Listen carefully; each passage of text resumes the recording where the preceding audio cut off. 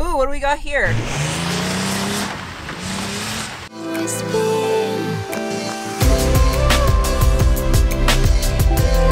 Hello, fine people of the interwebs. It's your favorite hiding out in her shop from a winter storm, Sarah here, with another truck review. It's sleeting outside. I don't know if you can hear it.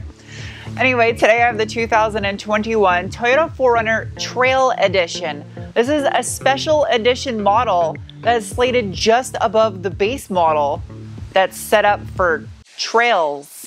First things first, what sets this Trail Edition apart from the other 4Runners is it's cheap. And I mean that in cost. It is not super expensive like the TRD Pro, yet it comes in some special colors like a TRD edition. Like this one is cement gray, and you can also get it in army green, super white, and black. Those are all kind of solid color choices, in my opinion, for a 4Runner.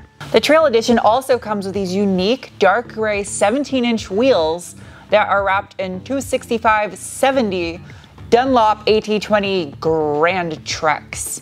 It's like a fancy bicycle. It's a grand trek. I just made some cyclist laugh at that joke. Also, shout out to Toyota for using these four pot brake calipers in the front of the Tacoma and the 4Runner. You also get LED projector headlights and LED fog lights on the Trail Edition. What you do not get though, and it's strange because this is a Trail Edition, is the TRD skid plate. And this right here comes standard on the Trail Edition. It's a Yakima basket. So you can put your snackama in the Yakima basket and have a picnic on the trail. Somewhere in Toyota, there's an engineer that came up with the conclusion placing four sesame seeds on the mirror cap will aid in fuel efficiency. You also get these black housing LED taillights on the Trail Edition as well. Don't mess with Texas. In case you weren't aware, the back window goes up and down in a 4Runner. It's done that since the 80s, but I just figured I'd show you in case you didn't know. And back here is the treasure that is in the Trail Edition. It's special just to the Trail Edition. I guess I could. There you go. We.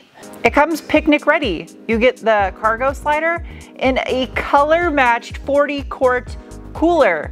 So if you get a green one, it comes with a green cooler. If you get a black one, black cooler, white one, white cooler, cement one, cement cooler. It even has a little Toyota lanyard to hold it in place. That is so cheesy and cute. All right, slide you back, just like that. Lock it in. Oh, there's also a little first aid kit back here.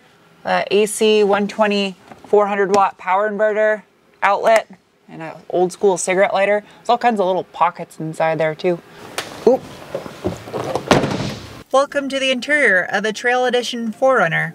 Because this is close to the bottom of the model lineup, it comes with a key that you insert into a slot on the steering column. Uh, the seats in here are unique to the Trail Edition and they're cloth.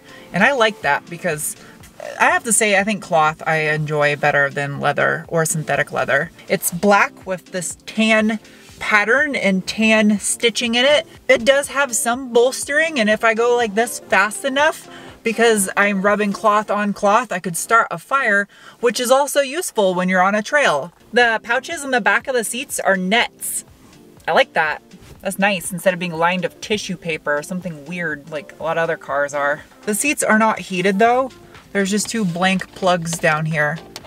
Neither is the steering wheel heated, but keep in mind this is close to the bottom of the model lineup, so it's got some little biscuits in the center console that are removable back here in case someone spills something nasty in there and you need to clean it after. I like what they did there, where they included this gloss black piano trim around the sides of the screen, which give it appearance of being a bigger screen than it actually is. I see what you're doing there, Toyota. It's clever, but hey, it works because it's not that bad looking in here. Looks less like a 90s boombox, although the giant knobs for the climate control, little boomboxy.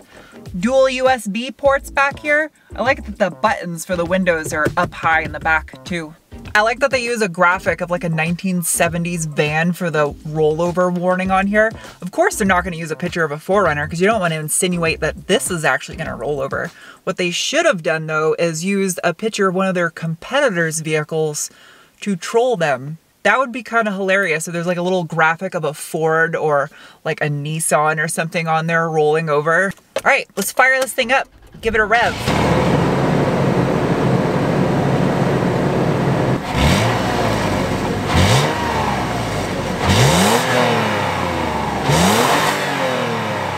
I love the sound of the 1GR. It's just such a muscular sounding V6. Nice.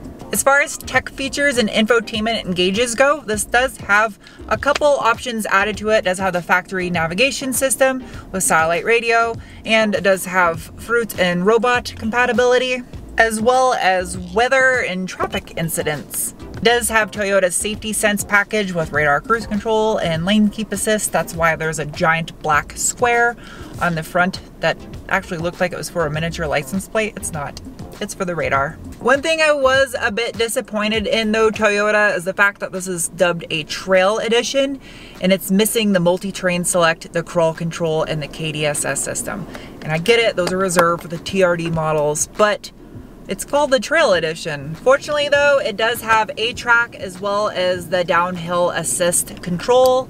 So it does have a few off-road goodies you probably don't really need all those other features. It's just if you're a novice off-roader, they're probably a beneficial item to have.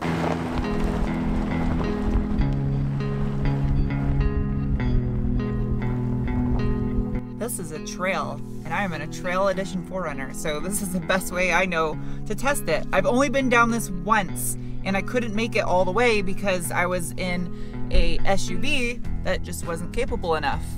This, I think, is. I don't feel it'll be too challenging for the 4Runner, but I've only been down halfway. Uh, right now, I am in two-wheel drive. I'm not going to switch into four unless I absolutely need it. The only thing I'm worried about in this is the fact that it has these really pretty gloss gunmetal wheels and there's some jagged rocks out here.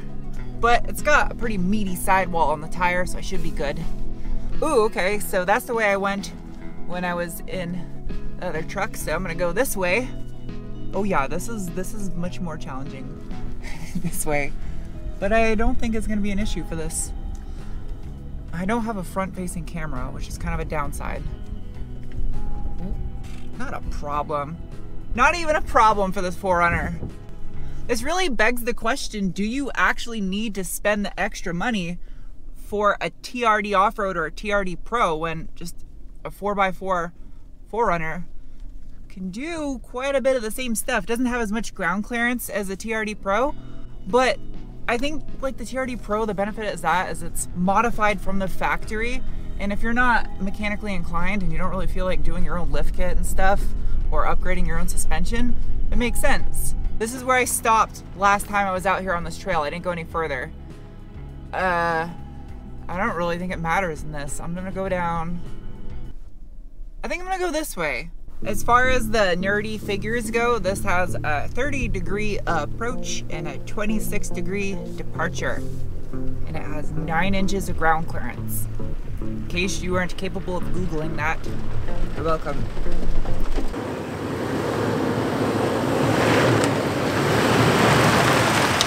Ooh, what do we got here?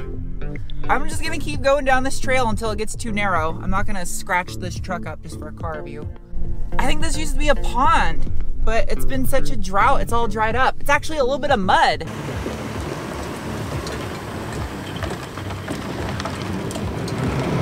So I'm out here by myself because my sister's uh, chase vehicle is actually broken right now. So I gotta be careful. Not to get stuck, but I still wanna have some fun. all right, that was all two wheel drive, like nothing.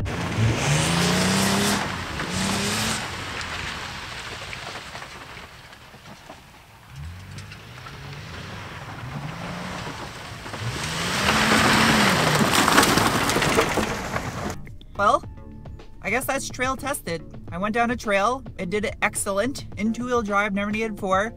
I know a lot of you want to see me do like insane, crazy off-roading to push these vehicles, but you gotta remember, I'm just me. This isn't the Grand Tour or Top Gear, so if I destroy a vehicle off-roading, I'm not gonna get another one to review probably.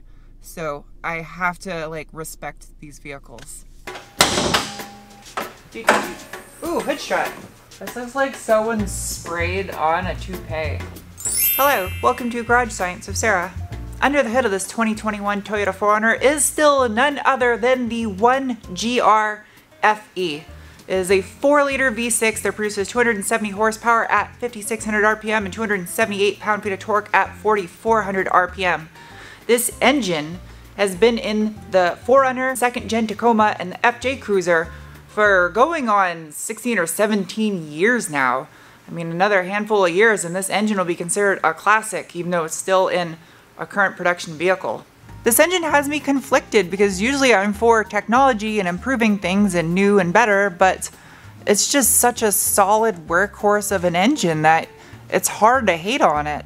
My business partner in the shop next door has a 2007 4Runner with the same exact 1GR V6, and his has over 260,000 miles in it and has never developed an oil leak, nor has he had to replace any major components on the truck.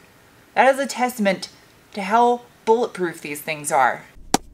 In the name of science, it's now time to give this thing the beans. I'm gonna disable my traction control. Slick out too, that should be fun.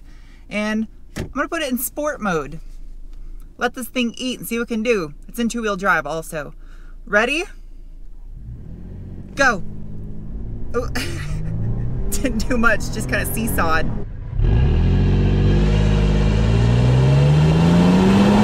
Go, 4Runner, go! Ooh, listen to it roar. That's good. It's not fast, it's just adequate. Hello, I'm back. The drivetrain in the 4Runner is still none other than a part-time four-wheel drive system. You can get it with two-wheel drive, but why would you want to do that? It's a 4Runner, and it's paired to a five-speed automatic transmission, and that is it. In case you were wondering, this is what it looks like under the 4Runner. They're not messing around with corrosion prevention. This rocker panel's plastic and everything under here is coated or stainless. The exhaust, underneath the frame.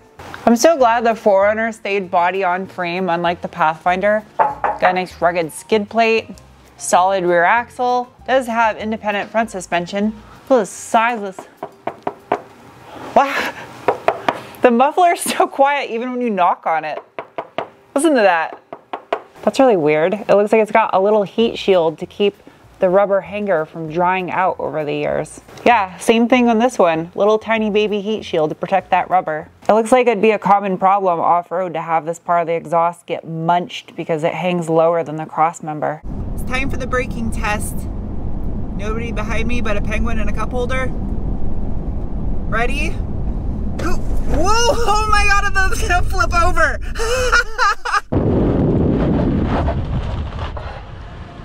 I thought he was gonna do a cartwheel. Oh, that was crazy. It stopped good though.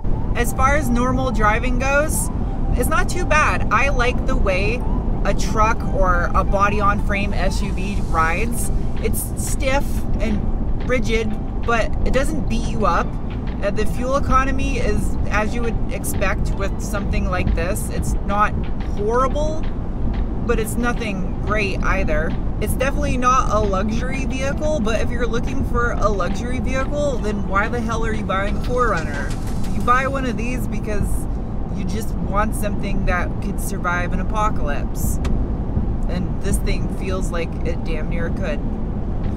If you guys never seen my reviews before, I have multiple categories to rate and assess them. Starting with the bean score is a rating of one to five beans based on feeling you get in your gut when you give it the beans. And this 4Runner Trail Edition is getting a rating of one bean. It's not quick, but it's fronty where it matters, and that's what you want in something like this. Next is a cookie score. Yes, I'm flying through this because it's freezing out here. It's a rating of one to five cookies based on what you get for what you spend. And the Trail Edition 4x4 as it sits right here is getting a rating of 3.7 cookies. There's solid value here because it's not loaded up with a bunch of crap you don't need. It has literally everything you need to go down a trail. Next is the meatball score. It is a rating of one to five meatballs based on a truck's ability to tackle dirt clumps that look like cow poop. I don't know. Anyway, the Trail Edition 4x4 is getting a rating of hair in my mouth. 2.9 meatballs. It's just a smidge less than I gave the TRD Pro Edition because of ground clearance, it's a little less, and also doesn't have all the electronic gadgets to make off-roading easier for novice drivers. And with that said, I truly feel if you have an advanced off-roader in this versus the TRD Pro, they're probably gonna be able to go most places in either truck. It's just the ground clearance that will make up the difference. Lastly though is the penguin score is a rating of one to five penguins based on how much I personally like a vehicle. And this truck right here is getting a rating of 3.2 penguins. It's just a classic recipe for a good solid 4x4 SUV that will outlast its owners. And it's simple in there, it kind of feels dated, but that's what makes this truck amazing because it's not trying to impress anybody. It's just trying to outlast everybody and they do a really good job at that. Anyway, I'm gonna end this video now because it's, it's like 42 degrees outside. It's kind of cold, it snowed. So I'll see you soon with another. Bye.